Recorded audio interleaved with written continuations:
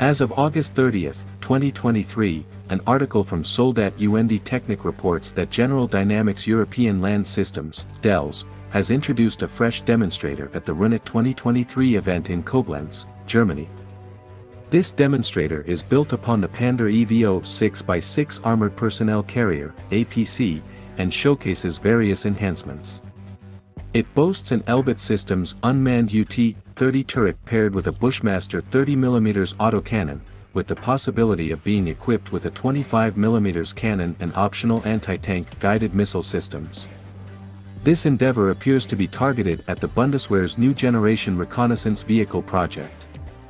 The primary objective behind unveiling this vehicle is for DELS to present a strategy for creating a future reconnaissance vehicle that involves minimal risk and swift execution.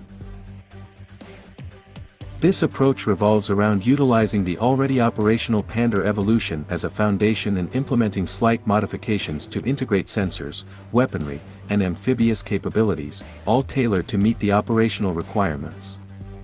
A noteworthy departure from the APC version used by the German Army is the inclusion of a sensor package, which forms the basis for its reconnaissance capabilities. A telescopic mast capable of extending up to 4 meters supports the Hensoldt electro-optics BAE system. Furthermore, the vehicle incorporates an auxiliary fuel tank, significantly extending its range to over 1,000 kilometers. Internally, the vehicle is designed with operator stations for the driver, commander, gunner, sensor operator, and up to two additional workstations.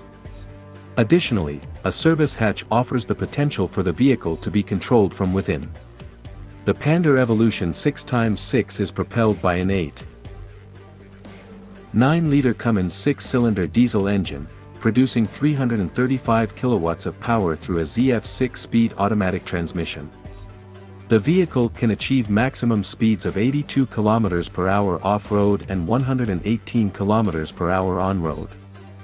It boasts an independent wheel suspension and the automatic drivetrain management, which engages a 100% differential lock for optimal performance. Dells has also highlighted the vehicle's amphibious capabilities. In terms of protection, the vehicle incorporates Rheinmetall Protection Systems mine protection technology along with additional armor that conforms to STANAG 4569 Level 3 ballistic standards. With dimensions of 2.6 meters in width and 2.2 meters in height, the vehicle is suitable for transport via AC-130H-J aircraft. Safety features encompass an explosion suppression system, a decoupled floor for mine protection, and an NBC protective ventilation system.